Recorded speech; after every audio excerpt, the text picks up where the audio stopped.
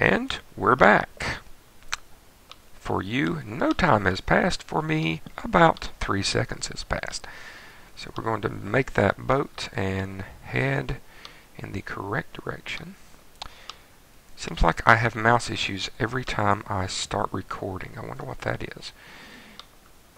It just, it doesn't take somehow. Oh well. Beautiful scenery. I, uh, I have so many good plans for this world. Uh, but you'll see once I get there what one of my plans is going to be. Is this where we land or can I skirt around this as an island? Is this a peninsula? Let us see. I think I think I can squeeze through right there. Boat. Boat don't break. Don't no no no no no. No there thank you. Thank you. Alright. Alright, let's go this way. Um, negative 1400 towards negative x. That is actually incredibly useful to put that on the F3. So we might be spending another night and we will be spending it out on the water, although this is not a very long stretch of water. So we'll be getting there pretty quickly. Kind of nice to uh, ride off into the sunset. I don't know if uh, you watch uh, the UHC uh, produced by the the Minecraft community. Oh, here we are, and here is one of the other biomes that we are looking for, which is the mushroom biome. Alright, I'm just going to crash the boat. I don't need it anymore. Yeah. Boats. Mm-hmm. Boats are weird. Boats are very weird. I, I could not recommend anyone use them for travel at the moment because they're just kind of broken right now. Um, uh, poor Doc, he just uh, he just had the big flood, and congratulations, Doc, on the uh, the big flood. Uh, but he was uh, trying to uh, navigate by boat, and his boats kept doing exactly what they're doing for me, which is breaking and everything. It's just, are you even here? Can I break you? I don't know. I don't know. Uh, ghosts are like, I'm sorry, boats are like ghosts right now, which is pretty annoying, pretty crazy. But uh, mushroom. Now the actual biome name in the game is uh, Mushroom Island, and they're intended to be islands. But as it turns out, they can also be peninsulas, and this is a peninsula. So here's two of the three biomes. And I told you once I got here I was going to have plenty of food. Uh, it's because of all the mushrooms. I'm going to subsist on mushroom stew for a while. And that's actually a pretty good food source. Uh, it's not too hard to uh, to make it or anything like that. And uh, they changed the crafting recipe a while back. This is actually something I uh, mentioned. I I had read it in one of the updates mentioned to Mindfiend. I was talking about him in my previous video. Pretty big influence on me as an uh, an LPer. And uh, he did not know they had changed the crafting recipe, so you could actually craft the uh, mushroom stew in your 2x2 uh, crafting grid. And I think this is it, people. Here is biome number 3. You can see a little bit of it over there on the right. And here she comes as I get a little bit closer. That's right, we've got a mesa here. So three biomes come together. Mesa biome, which is absolutely fantastic. I know everyone else has been just oohing and eyeing over this new biome, and it really is gorgeous. But then look right here. I get mesa biome, mushroom, and a birch forest. It's just absolutely gorgeous right here. I absolutely love it. Very pleased with it. Very, very pleased with it. Now, I'm going to uh, uh, just knock off the top of this really just so that it's a little bit easier navigation. This this will be my probably my, my temporary home as this island because it's fairly easily defensible from the uh, uh, the skeletons and whatnot. What is our where's the sun at? There it is. It's going down in that direction. No, it's going up. So we're, eh, we're we're mid morning. Okay. Uh, I'm going to go ahead and harvest some uh, some wood. And uh, you know what? Yeah, I'm, I'm closer. I'm going to go ahead and harvest some wood. I've got my bed on me. I can sleep anywhere. And then we're going to go jump on top of that mesa. And uh, then I probably am going to cut the video. I'm going to put up a big signboard of all the things I, I want to accomplish in this LP. And there's a lot of them. My last uh, uh, Minecraft world, I, I pretty well did just about everything. There's a few things I have not done yet. I've not fought a wither. I don't think ever, not even in creative.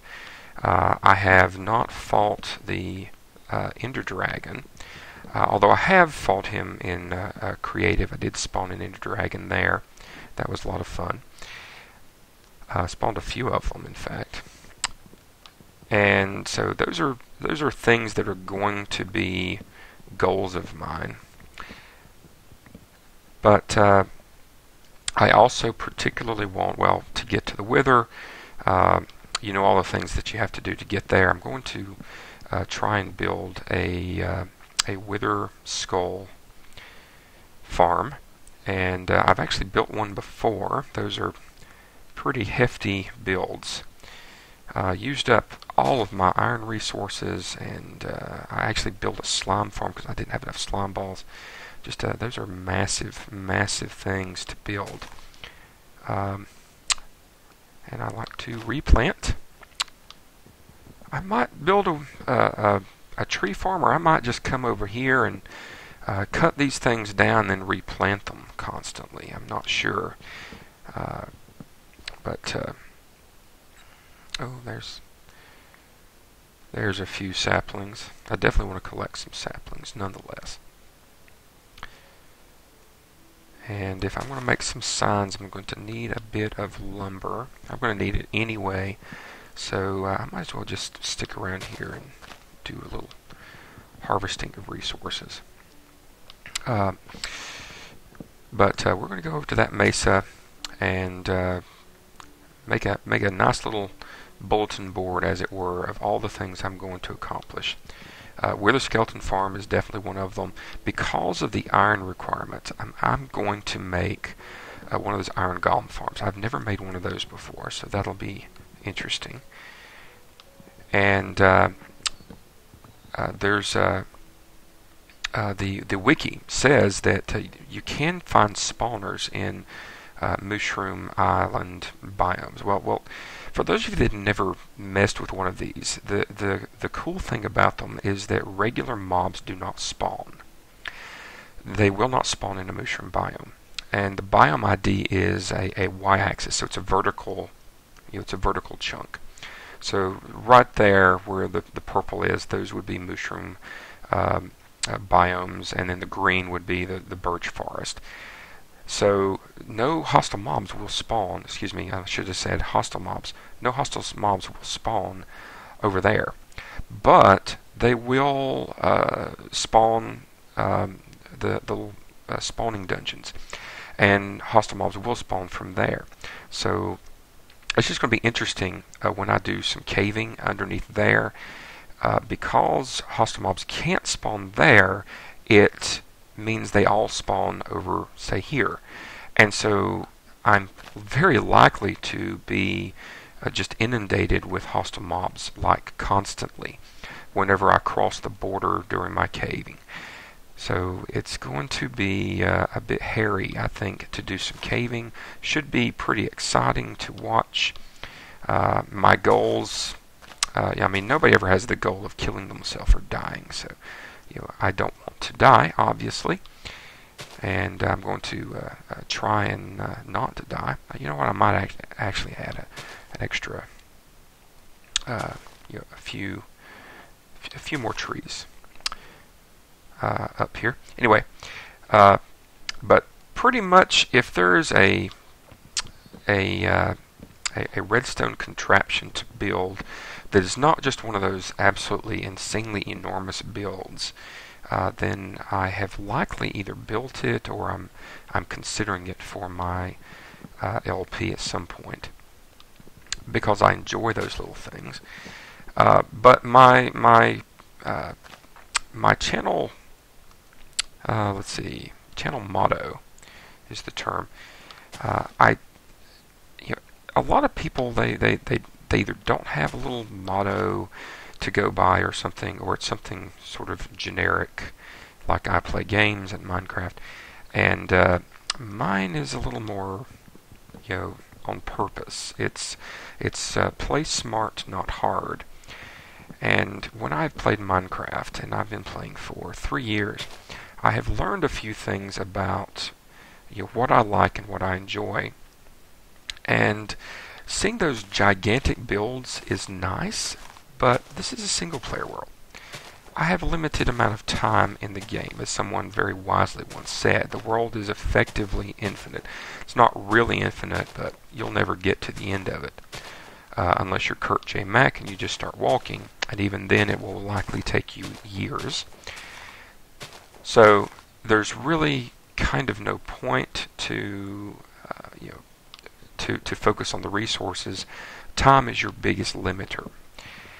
And so I, I want to be able to enjoy this world. And that means building things that are the appropriate size. I mean, I, I can build a you know a watermelon farm that produces 14,986 uh, uh, melon slices every uh, 17 minutes, but I I don't want to do that. Uh, other people they can do that, and it is pretty awesome to see but that's just not me. I would much rather have a smaller melon farm that is enough for me to have melons. And let's face it, there's only one real use for melons, and that's in potions. So I'm not likely to make a very large melon farm unless I just wanted to. They are actually fairly easy to make. Um, is it getting dark yet? I was gonna. I was thinking I would I would uh, get lumber today, and then uh, about dark I would head over to uh, the mesa biome. It looks like. Yep, yep, it's time.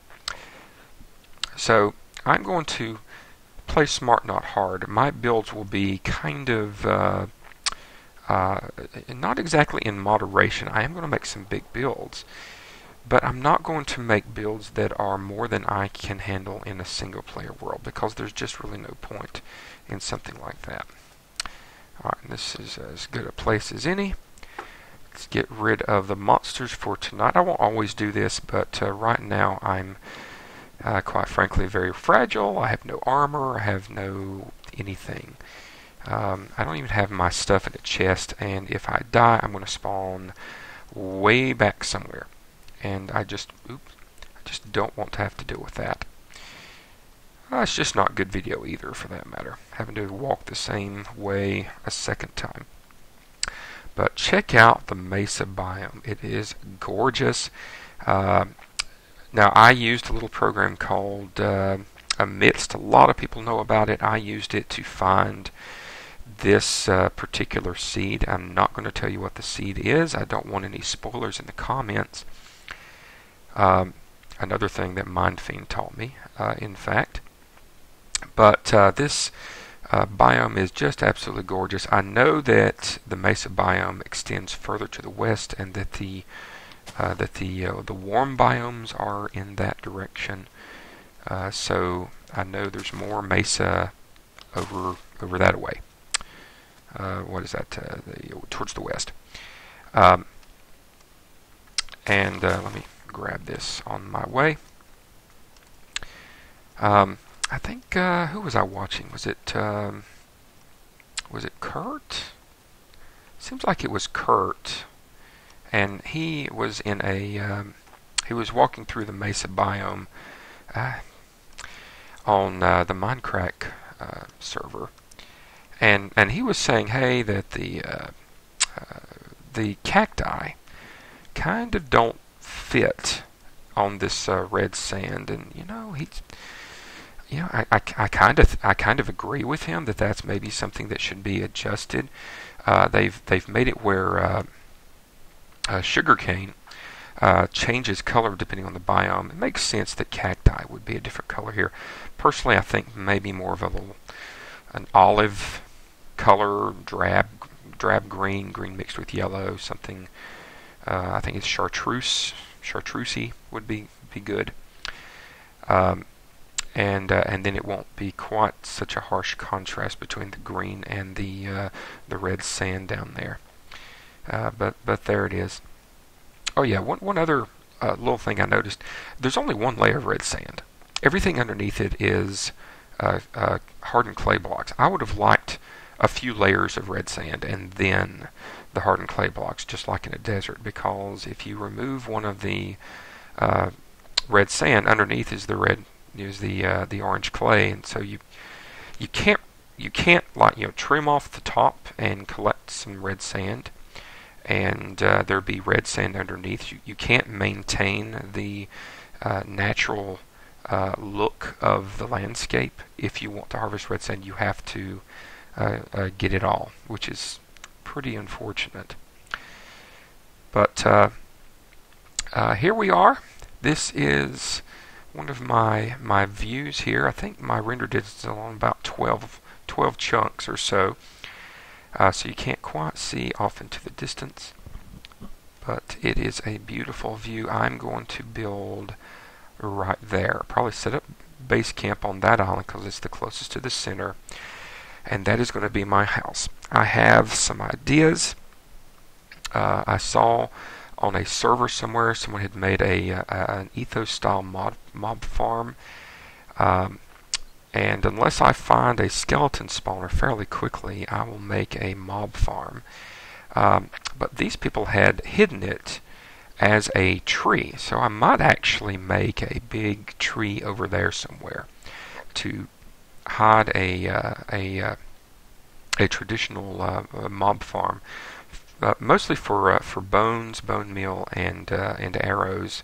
Uh, once I get a bow, um, but this is going to be my home, and there is a witch uh, uh, house.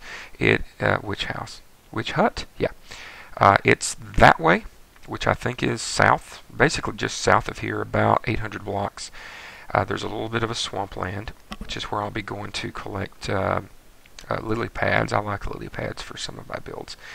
And this particular witch hut is sticking out into an ocean biome, so it's going to be really easy to make that into a high performance witch farm fairly quickly. I've never made one of those witch farms before, but they are so incredibly useful. Oh, look, you can see more mesa in the distance.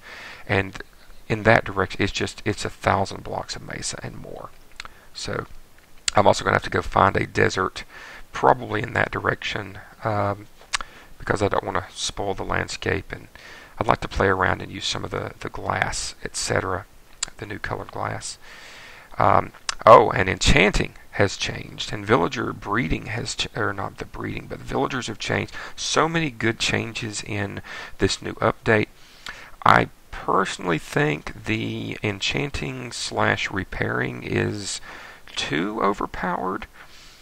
Uh, but we'll see. I mean, it's a work in progress. They can always change it. I like the idea of lapis having a use now. It makes sense that we use lapis to enchant our gear, and then the gear gets that bluish enchanted tinge. It, it just makes sense. It's a blue rock, and your gear turns blue. I like that. It's very, very smart. Uh, that's one of the, uh, the the things about Minecraft. I just really, really love this game. Uh, the way they put the pieces together, the way they build, they take their time, they don't rush.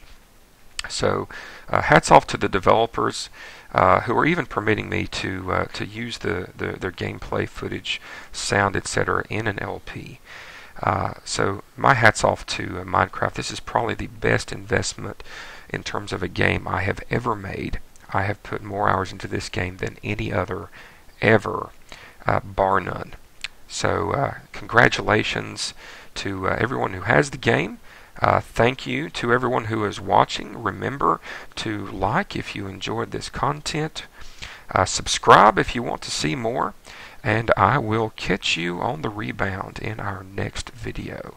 Take care.